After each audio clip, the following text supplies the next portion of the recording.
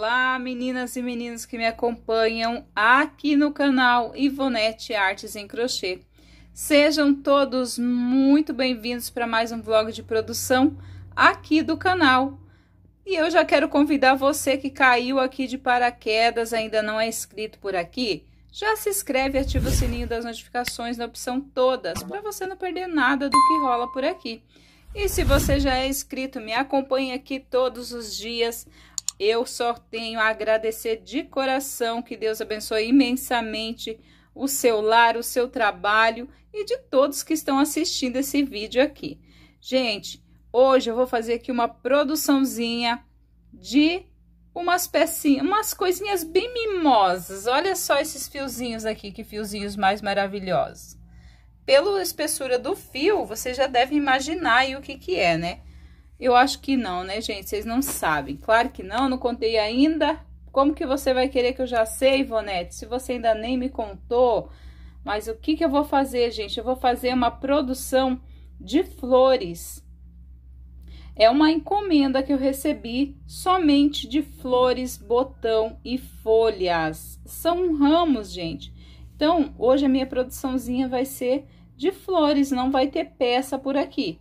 Mas já quero convidar você aí a deixar o seu super like, se você ainda não deixou, porque eu tenho certeza que você vai amar essa produção aqui, tá? Vou deixar o link da aula, tanto da florzinha como do botão e também da folha, aqui na descrição do vídeo. Já tem aulinha aqui no canal e eu vou deixar para vocês aqui que quiserem fazer, tá? Vocês já já vão ver o modelinho, Vou estar tá utilizando aqui, gente, ó, somente fiozinhos finos. Então, vou estar tá usando fio Duna, tá? Esse verde aqui maravilhoso, que todo mundo já conhece, que é o Folha, na cor 93, 92. Eu tenho uma sobrinha aqui, ó. Então, eu vou estar tá usando esse aqui primeiro, se terminar, eu vou abrir esse cone. Vou usar também, gente, esse fiozinho aqui, ó, que também é de espessura 4, só que ele não é Duna, tá? Ele é um fio... É como que eu posso dizer? É, ó, ele é brilhoso igual Duna, só que ele não é Duna, ele é o... Ai, agora esqueci o nome, gente. É o Floral Amigo, gente, da Supremo, tá? Ele é um fio bem macio também, gente, é muito bom de trabalhar. Vou usar aqui, ó, o fio Duna também na cor vermelho, e esse aqui é um amarelo canário, tá? Deixa eu mostrar aqui pra vocês, gente, que eu tenho sobrinhas aqui, ó, ó, de todas essas cores, ó, do vermelho também. Então, primeiro eu vou estar tá utilizando todas as minhas sobras, mas eu quis mostrar aqui os novelinhos grandes para vocês, para ficar mais bonitinho aqui, né? Mas a gente, por trás dos bastidores, é isso aí, ó. Vou estar tá usando, então, essa sobrinha aqui. Vou estar tá usando essa sobrinha de vermelho aqui também, que é da mesma cor, da mesma tonalidade. E aqui eu tenho duas sobrinhas de amarelo, ó, todos no fio 4 também. Então, vou estar tá usando também para fazer, porque como são pecinhas pequenas, né, botãozinho, vai bem pouquinho o fio. Então, a gente tem que aproveitar, né, quando é coisinha pequena, para não estar tá fazendo emendas, né, no nosso fio aí, com peças tão delicadas como as flores. Então, é isso, amores. Vou estar produzindo aqui e daqui a pouquinho eu volto mostrando como que está ficando aqui a minha produção, tá? Bora lá, então? Vamos produzir. Olha só, meninas, só mostrando aqui pra vocês, gente, ó. Consegui produzir aqui, ó, com aquela, aquela sobrinha de fio que tava naquele cone, ó. Eu consegui fazer para dois ramos, ó, completo aqui, que são nove folhas para cada ramo. Então, tem três em cada montinho desse aqui, ó. Tem três folhinhas. E agora eu vou abrir esse aqui para terminar de fazer e depois também tá fazendo o caule dos botões. Mas, ó, rendeu bastante, né? Vocês viram que tava aparecendo o cone lá e, e deu para fazer nove folhas. Nove não, gente, dezoito, que são nove para cada ramo. Deu 18 folhas. Essa aqui, ó, deu a folha praticamente completa. Deixa eu clarear um pouquinho essa imagem aqui, gente. Olha só praticamente completo. Só faltou fazer o picôzinho aqui, ó, e descer com pontos, é, com, com essa carreirinha aqui de pontinho, ó, pra fazer as correntinhas aqui no final. Mas, enfim, vamos colocar aí 19 folhinhas, né? Então, deu pra fazer 19 folhas aí, e ficou super bacana. Então, agora eu vou abrir o outro cone e vou dar continuidade aqui. Olha só, meus amores, finalizei aqui, gente, a, a produção aqui das peças. E olha só, gente, que coisa mais colorida, mais linda que ficou aqui, ó. Do amarelo para o laranja e depois para o vermelho. Olha que maravilhoso que ficou. Agora eu vou estar montando aqui como é que vai ficar é, esses ramos aqui para vocês verem que perfeição que fica, que lindo. Provavelmente a minha cliente vai estar colocando esse ramo em alguma pecinha na casa dela. Não sei dizer para vocês no que ela vai estar aplicando, mas com certeza vai ficar maravilhoso. Qualquer lugar que ela colocar vai ficar muito lindo, porque essas flores são lindas. Lembrando vocês que tem aulinha aqui no canal na mesma aula, eu ensino fazer a flor, a folha e os botões, tá? Então, o botãozinho, gente, ó, ele fica aqui, ó, com esse ressalto aqui, ó. E eu ensino a fazer bem certinho lá na minha aula, tá? E essa parte aqui, ó, é feita tudo na mesma laçada da agulha, tá? E as folhinhas, ó, eu ensino a fazer a folhinha e já ensino a fazer aqui ó, o picozinho na ponta e depois essa esse, essas correntinhas aqui, ó, formando o meio aqui, ó, da folha, dividindo bem certinho, ó. Olha só que lindo. Fica bem bonita aqui. E a flor, nem preciso falar nada. Tô mostrando pra vocês essa amarela, porque é mais clarinha, mais fácil pra vocês visualizarem, né? Olha só que lindeza que fica aqui, gente, essa flor.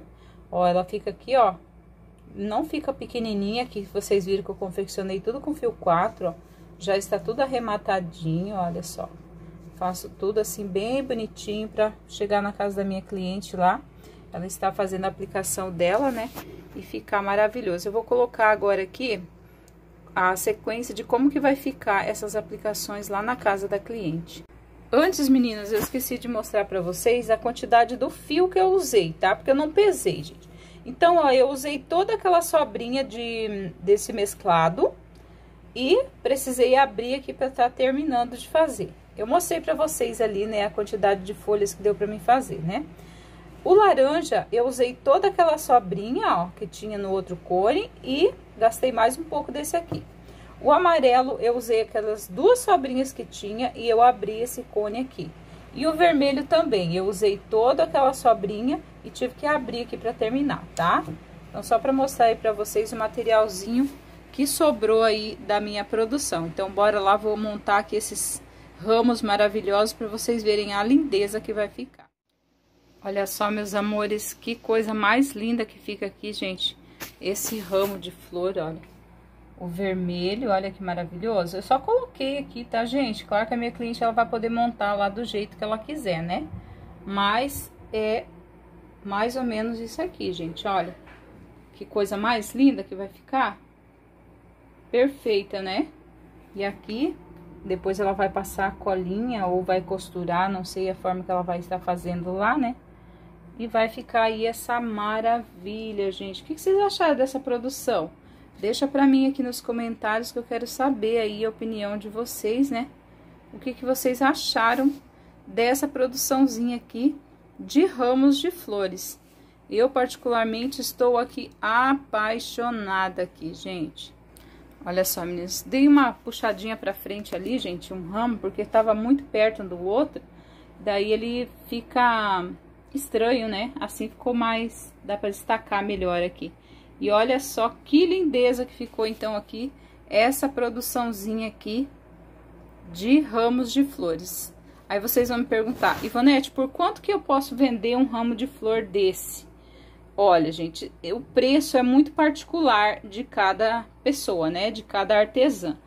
Eu vendi para minha cliente a 25 reais cada ramo desse. Mas é, eu faço esse preço para ela porque ela é uma cliente que ela sempre compra muitas peças de mim. Então, eu sempre mantenho assim um precinho melhor para ela. Porque no caso sai a cinco reais cada flor dessa daqui, ó. Que daria 15. E mais 10 reais que seria das folhas e dos dois botão, tá? mas é, na próxima encomenda eu já vou estar é, aumentando esse valor um pouquinho. Por quê, gente? Porque o fio, esse fio mercerizado, vocês sabem que ele é mais caro, né? Ele é um fio bem caro e, e por, por esse motivo só. As flores, essas é, trabalhosinha, é trabalhosinha, mas eu já tô bem acostumada a fazer esse modelinho aqui, já faz muitos anos que eu trabalho fazendo essa florzinha, já fiz muitos jogos de banheiro com flores. Gente, já fiz jogos de cozinha com 13 peças, todo decorado com essas flores. Ficou coisa mais linda do mundo. Se eu tiver uma foto aqui, antiga, porque já faz tempo que eu fiz, gente. É um jogo preto com flores vermelhas. Eu vou deixar aqui para vocês a foto passando, para vocês verem que maravilhosa que fica essa flor. Dá para aplicar em muita coisa, tá? Então, aí os próximos ramos que eu for fazer, eu vou estar cobrando o valor de 30 reais, gente. 30 reais, para mim, está bom, pelo valor que eu pago no meu material. Isso depende muito da sua região, de quanto você paga no seu material e o tempo que você leva para fazer, né? Eu vou estar é, cobrando 30 reais, mas para essa cliente eu fiz a 25 reais cada ramo desse aqui. Gente, Espero que vocês tenham gostado de mais esse vlog de produção que eu preparei para vocês com muito amor e carinho.